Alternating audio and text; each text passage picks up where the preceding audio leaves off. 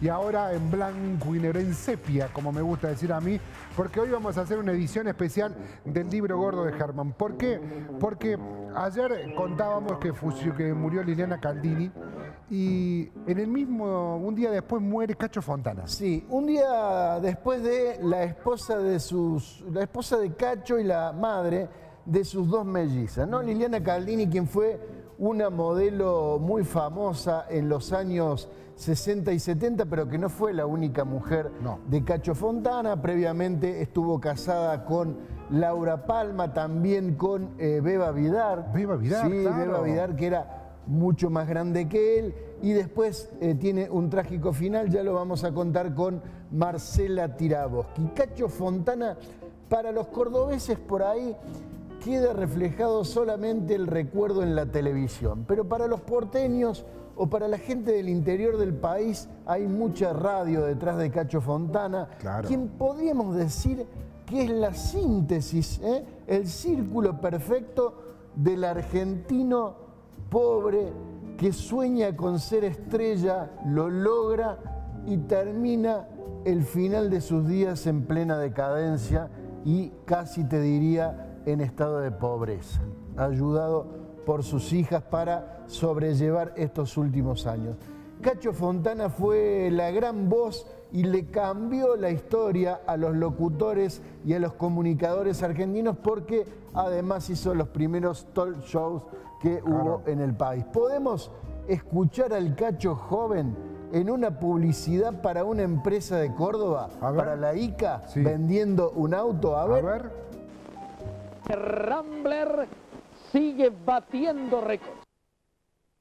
¿Quiere saber usted a qué se debe este sensacional éxito de ventas? Entonces, vea, pruebe y compare. Compare la sobria elegancia de su moderna línea. Compare las condiciones que le proporcionan una marcha perfecta en todo tipo de caminos. Mayor despeje del suelo rodado de mayor tamaño, mayor distancia entre ejes, trocha más amplia. Compare la distinción especial que le otorgan sus vidrios curvos. Compare la mayor capacidad del Rambler que sin ser exteriormente más grande, brinda mayor espacio y comodidad para seis personas. Estas y otras ventajas son las que determinan la fabulosa realidad que demuestran las cifras. Compare la cantidad de unidades Rambler vendidas durante el mes de junio en relación con sus competidores. Rambler, 1452. Competidor 1, 887. Competidor 2, 562. Competidor 3, 668. Compare los totales acumulados por Rambler y sus competidores desde sus presentaciones en el mercado en 1962. Bueno, esta es una publicidad de Cacho del año 1964. Podemos decir que comenzaba el esplendor de Fontana, quien eh, nació como Norberto Palese. ¿eh? Cacho Fontana era un nombre, eh, digamos, artístico y casual, porque cuando fue a hacer la primera prueba lo anotaron mal y lo anotaron como Jorge Fontana.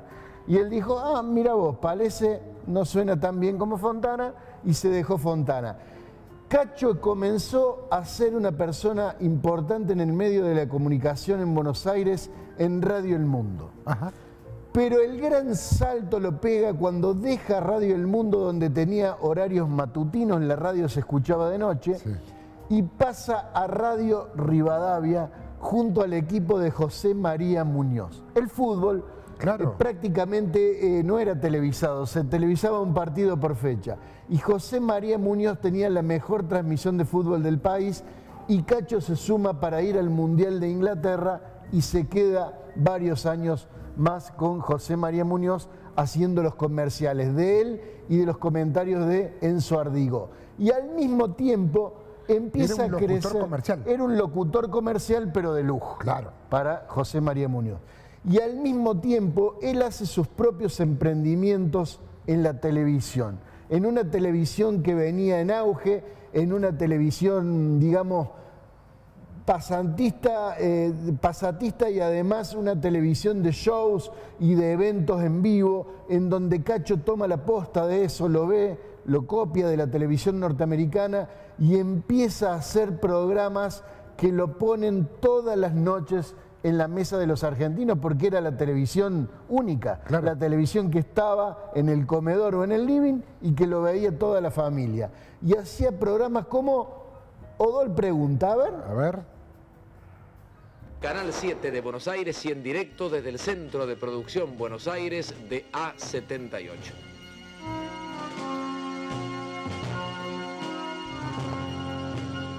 Magdalena Ruiz Guiñazú está en Puerto Iguazú.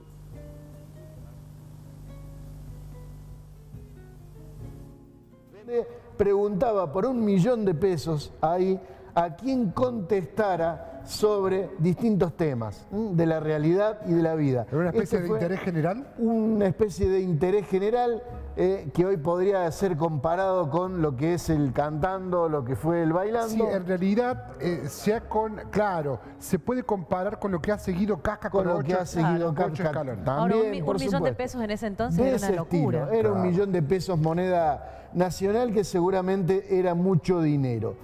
Cacho también hace el Fontana Show, ¿sí? Claro. Eh, y su, digamos, su pico comienza a tocarse entre el año 1978, cuando lo veíamos haciendo la presentación de un homenaje a San Martín.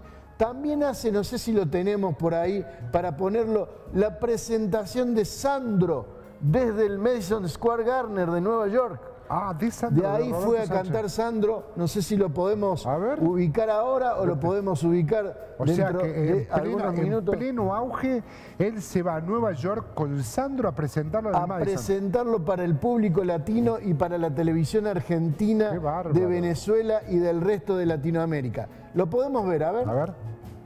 La voz del país durante varias décadas fue un generador incansable de ideas y proyectos que hicieron historia en nuestros medios y marcaron el rumbo de los que vendrían después. Cacho fue, es para mí el mejor profesional locutor que tuvo Argentina. Su historia comenzó hace casi 80 años, el 23 de abril de 1932, cuando Nora Filiera de Palese dio a luz a su hijo Norberto en una casa del barrio de Barracas tuvo su primera oportunidad a los 15 años, reemplazando al presentador de orquesta del Salón La Argentina.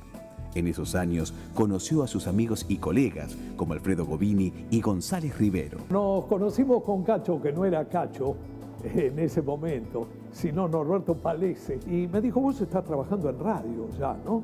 Digo, sí, mira, desde el año 1947. Y me dice, yo tengo ganas de trabajar en la radio. Si querés, nosotros nos mantenemos en la conducción y vos haces los avisos. En 1950, con solo 18 años, ingresó como locutor suplente en Radio El Mundo y en 1955 se hizo cargo de su propio espacio en las mañanas de Radio El Mundo como productor artístico y comercial. Nacía el Fontana Show. Sin el Fontana Show yo creo que no hubiese existido todo lo que vino después porque el modelo de programa radial que mezclaba la actualidad, el humor, la animación, el espectáculo, los móviles y todo lo que pasaba y todo lo que pasa en una ciudad con el latido acelerado que tiene la ciudad, se entendía, se entiende y se entenderá a partir del Fontana. Fontana permaneció en Radio El Mundo hasta 1956, cuando lo invitaron a participar del nuevo programa de preguntas y respuestas en el recién nacido Canal 7. Odol Pregunta. Odol Pregunta, el único programa de la televisión argentina que premia su saber. Odol Pregunta y usted responde con seguridad. Pero además de lo artístico, Fontana marcó hitos televisivos, como productor, como por ejemplo la primera comunicación en vivo y en simultáneo con todo el país. A pocos días de cumplir 80 años y con casi 60 de carrera, Cacho Fontana es un grande de los medios de nuestro país y por eso nuestro homenaje.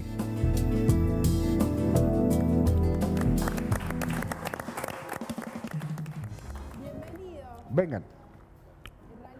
Esa fue una de las últimas entrevistas que da Cacho Fontana. Uno de los homenajes que le hicieron los comunicadores de, Buenos Aires que los querían mucho. No sé, la verdad, Juncal, si tenemos a mano, estaría bueno ver lo de Sandro, estaba ahí dentro del paquete, porque era realmente una comunicación casi imposible para la época desde el Madison Square Garden. Pero decíamos que el círculo de Cacho comienza a cerrarse y la curva descender en un momento en el que él cree en algo en el que creyeron la mayoría de los argentinos en su momento que fue eh, la invasión a Malvinas y la guerra de Malvinas. Cacho se conmueve mucho por el hundimiento del general Belgrano y junto con Pinky deciden organizar un programa de 24 horas. El famoso 24, 24 horas para recaudar fondos por Malvinas recaudan muchísimo dinero y muchísimas joyas que nadie sabe dónde terminaron, nunca se supo dónde fueron a parar. Hubo millones de dólares eh, recaudados a lo largo y ancho del país en ese programa meteórico que hicieron junto con Pinky. Ahora, ¿qué pasó? A Cacho le facturaron después a algunos colegas y, a alguien también de los medios eh, ser un cómplice de los milicos por haber hecho este programa cuando en realidad él lo explica como que fue algo que le nació, que quería colaborar y que en qué puede colaborar alguien famoso, alguien que se dedica a la comunicación y a los medios. Eh, si no es haciendo un programa de televisión y una obra. Lo seguimos viendo, a ver un poquito más.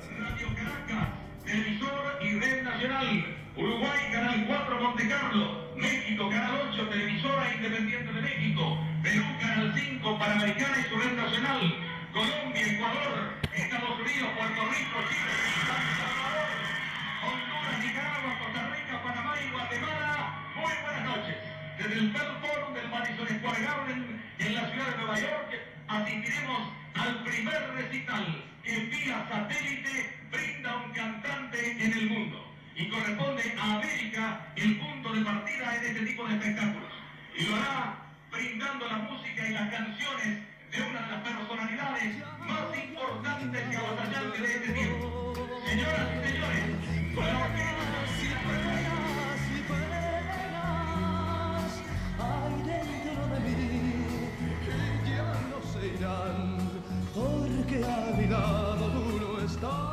Bueno, lo decía Cacho, era una, algo que no ocurría en la televisión, él lo presentaba como algo único en el mundo, ¿eh? una transmisión para toda Latinoamérica, podríamos decir, de Sandro, en el principal escenario de Nueva York. La vida de Cacho Fontana eh, tuvo un momento muy emotivo cuando fue pareja de Liliana Caldini porque copó las tapas de las principales revistas del país, tuvieron dos mellizas, eh, fue un momento inolvidable para él, pero todo lo que vino después fue eh, un momento de de un derrotero en caída, de un gran locutor, una decadencia, ya nadie lo contrataba, eh, no conseguía sostener su propia vida, en algún momento trabajó en una radio, en Radio Impacto, aquí en Córdoba, eh, él decía que no lo buscaban más para las publicidades a partir de Malvinas, para grabar publicidades, finalmente lo hemos visto haciendo eh, comerciales de eh, Pulmo y algunas otras cosas para Trovil. Pero bueno, eh, junto con esto, ahí vemos una tapa, por ejemplo, de Cacho junto con Liliana Caldini de la revista de la desaparecida revista Siete Días. También fue tapa de la revista Gente. y hay un tema que Cacho lo abordó con mucha sinceridad, diciendo de que él había llegado al consumo de cocaína de la mano de Aníbal Troilo. ¿Y por qué mencionamos esto? Porque finalmente fue este tema el que lo golpea o que le da el último golpe cuando eh, se siente eh, denunciado o lo denuncia Marcela Tiraboschi, una pareja que había conocido en el show de Gerardo Sofovich, eh, diciendo de que Cacho Fontana la había agredido físicamente y que además la había iniciado en el mundo de las drogas. Esto a Cacho, junto con algún golpe de salud, con algún infarto, eh, realmente lo deprimen mucho, lo tiran a una depresión en la cual termina viviendo prácticamente en el geriátrico eh, de un amigo que le prestaba el lugar para poder eh, pasar los días allí, además de la ayuda de sus dos hijos. Recuerdo que en los últimos años, de hecho, eh, él gana cerca de 14 Martín Fierros, ¿no? Un tipo muy reconocido por el ambiente artístico, pero el último, el que le dan honoris causa, el último, el último Martín Fierro, sube al escenario junto con Pinky. Dos imágenes. Claro, de, la época y además los dos que hicieron el famoso programa por las Malvinas, ¿no? Y recordemos que eh, Pinky y también Cacho Fontana también son la imagen de la televisión que pasa de blanco y negro a color. En 1980. Entonces, en esa época son dos figuras eh, televisivas y del mundo del espectáculo muy importante. Y suben los dos, bastante viejitos, y cuentan ellos que estaban viviendo juntos en una habitación, la habitación del lado, en el mismo geriátrico. Como el, el, esplendor artístico, estamos hablando de dos seres, corregime Germán, dos tipos sí, número uno. Incluso superiores a la fama que obtuvo Marcelo Tinelli, por ejemplo. Claro, porque por esto es lo que decías vos, hacían televisión en donde todo el mundo veía televisión. La familia se sentaba o frente a la radio o frente al aparato de televisión para poder verlo, ¿no? Era, además el Odol Pregunta, por ejemplo, era en horario central, era en el horario de las 21. Y se da con Odol Pregunta algo muy particular, que no sé, que se había dado muy poco. Esto de que una empresa venga, como Odol, y sea dueño de un programa. Y ponga la plata y haga todo un programa, todo un programa con su nombre, como el pregunta. ¿Y por qué decimos que Cacho es esa síntesis del argentino pobre que quiere llegar arriba? Cacho Fontana nace en un conventillo en Barracas.